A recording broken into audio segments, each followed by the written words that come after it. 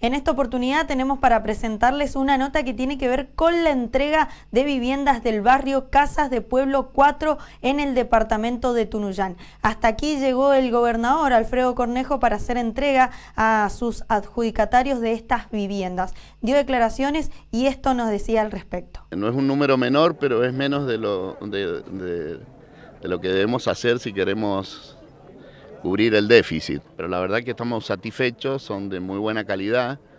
Tenemos varios, varios programas en marcha. Estamos reprogramando todo el tiempo el programa de vivienda.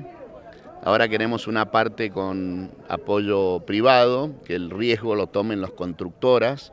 Es obvio que tiene que haber mercado, que, que pueda haber gente que pueda pagar una cuota un poco superior, que tenga algunos ahorros. Queremos que los municipios se comprometan aún más, algunos ya están haciéndolo, que es que la urbanización corre por cuenta del municipio y que la urbanización sea en lugares de esos vacíos urbanos que necesitamos completar porque ya tienen agua o tienen cloaco o tienen luz. En este caso y en este barrio en particular, la urbanización también ha corrido por cuenta de la provincia, por cuenta del, del IPB en el futuro queremos cambiar ese esquema.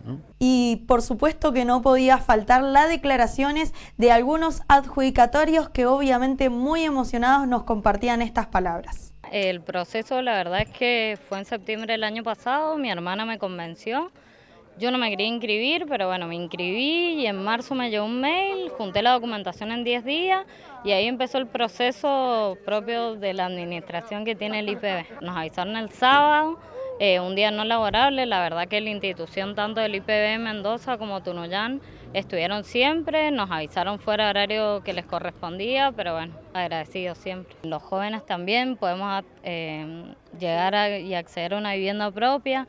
No hace falta casarnos ni tener hijos, sino simplemente eh, trabajar, ser buena gente y tener un poco de suerte en la vida. No, una felicidad inmensa, imposible de explicar en este momento, la verdad gracias al IPB por poder acceder a esta vivienda.